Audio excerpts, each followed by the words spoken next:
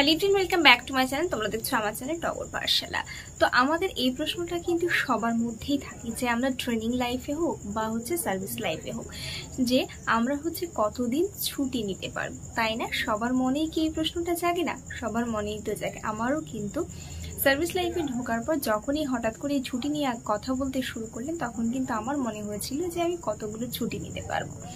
তো অবশ্যই এটা জেনে রাখা উচিত। অনেকেরই প্রয়োজন হয়, তো অবশ্যই ছুটি কি কি ছুটির টাইপস রয়েছে সেটা তো অবশ্যই জানতে হবে। সেই ছুটিগুলো কতদিন নেওয়া যায় ম্যাক্সিমাম সেটা অবশ্যই জানতে হবে এবং ম্যাক্সিমাম কতগুলি ছুটি তুমি পাবে সেটাও কিন্তু অবশ্যই জানতে হবে।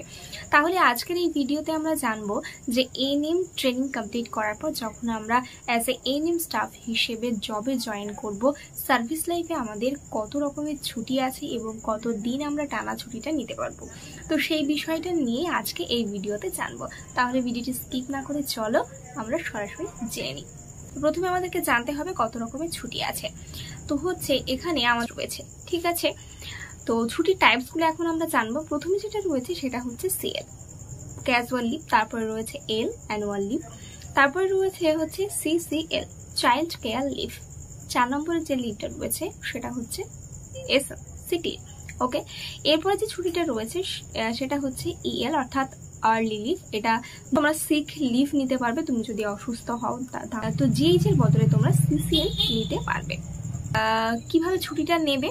এসিএল নেওয়ার জন্য কিন্তু তোমাকে অনলাইনে প্রথমে ছুটির হচ্ছে অ্যাপ্লাই করতে হবে হ্যাঁ? অ্যাপ্লিকেশন লিভ তোমাকে অনলাইনে দিতে হবে। প্লাস একটা খাতাও থাকবে, সেই খাতাতে তোমাকে অ্যাপ্লিকেশনটা করাতে হবে। তো তোমাকে এবার অনলাইনে কীভাবে অ্যাপ্লাই করবে? তোমরা যখন সার্ভিসে জয়েন করবে তখন তুমি একজন গভর্নমেন্ট এমপ্লয় হিসেবে যেহেতু জয়েন করছ সুতরাং তোমার একটা এমপ্লয় আইডি থাকবে। সেই এমপ্লয় আইডিতে গিয়ে কিন্তু তোমাকে অ্যাপ্লিকেশনটা করতে হবে। ঠিক আছে? তোমরা যখন আসবে তোমরা অবশ্যই আস্তে আস্তে জেনে যাবে বিষয়গুলো। ওকে? এটা কিন্তু অনলাইনে করতে হয়। একজন ফার্স্ট ট্রেনিং হিসেবে তুমি বছরে সিএল পাবে হচ্ছে চোদ্দটা। এই সিএল তোমরা টানা হচ্ছে ছটার বেশি নিতে পারবে না। এরপরে বলি এল, ঠিক আছে? এল তুমি হচ্ছে টোটাল তোমার রয়েছে বছরে তিরিশটা এল রয়েছে। এরপরে বলি তোমাদের হচ্ছে চাইল্ড কেয়ার লিভ, ঠিক আছে? চাইল্ড কেয়ার লিভ হচ্ছে শিশু, তোমার বাচ্চার আঠেরো বছর পর্যন্ত তুমি টোটাল হচ্ছে দু বছরের জন্য ছুটি পাবে।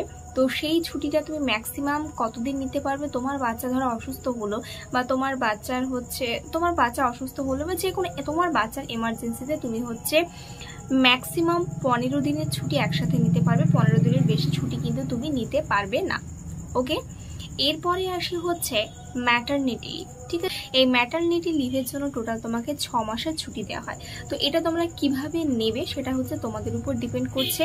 তো আমার দেখা এখনও পর্যন্ত কেউ কিন্তু অ্যান্টিনেটাল কেয়ারে কিন্তু কেউ ছুটিটা নেয় না। সবাই হচ্ছে পিএনসিতে গিয়ে ছুটিটা নেয়। অর্থাৎ হচ্ছে নাইন মান্থ পরে কিছুদিন আছে। তার ঠিক ওই সময়টা থেকে হচ্ছে ছ মাসের ছুটিটা নিয়ে নেয়। ঠিক আছে?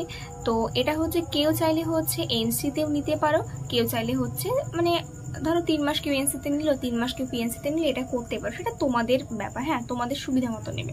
কিন্তু আমার যতগুলো দেখা প্লাস আমার মতামতে মানে আমি যেটা আর হচ্ছে, আমার যেটা মনে হয় সেটা হচ্ছে পিএনসিতে নেওয়াই ভালো।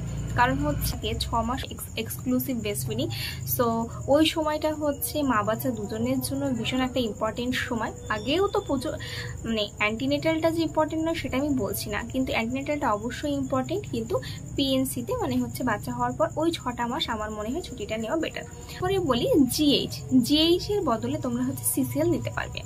এবার তোমার সেন্টারে ধরো দুজন রয়েছে। তুমি রয়েছে ফার্স্ট এনএম এবং তোমার রয়েছে সেকেন্ড এনএম এবার যেদিন জি ধরো জিএইচ এর দিন তুমি ডিউটি করছ এবং তোমার সেকেন্ড এনএম ছুটি নিয়েছে। তাহলে কি তুমি যে ডিউটি করলে জিএইচ এর দিন, সেই জিএইচ এর ছুটিটা পরে তুমি নিতে পারবে, তবে তোমাকে তিন মাসের মধ্যে নিতে হবে এবং তুমি সেটা সিসিএল হিসেবে নিতে পারবে।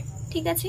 তো জিএইচ এর যদি কোনো ছুটি থাকে, তাহলে তুমি যদি সেই দিনটা না নাও, সেই দিনটা ডিউটি করো, তাহলে সেটা তুমি পরে নিতে পারবে সিসিএল হিসেবে এবং অবশ্যই মাথায় রাখতে হবে যে যে ছুটিটা তিন মাসের মধ্যে নিতে হবে। তিন মাস পেরিয়ে গেলে কিন্তু ছুটিটা তুমি আর পাবে না।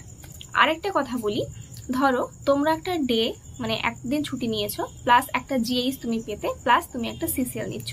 তো day plus GH plus CCL এই তিনটে তিনটে ছুটি নিলে তুমি তিন দিনের বেশি ছুটি অ্যাপ্লাই করতে পারবে না। সো এই ছুটি নিয়ে ডিটেলসে তোমাদের সঙ্গে আলোচনা করলাম। আশা করছি তোমাদের ডাউট ক্লিয়ার করতে পেরেছি। যদি এই নিয়ম জব সংক্রান্ত তোমাদের কোনো কোয়েশ্চেন থাকে, তাহলে অবশ্যই আমাকে তোমরা জিজ্ঞেস করতে পারো।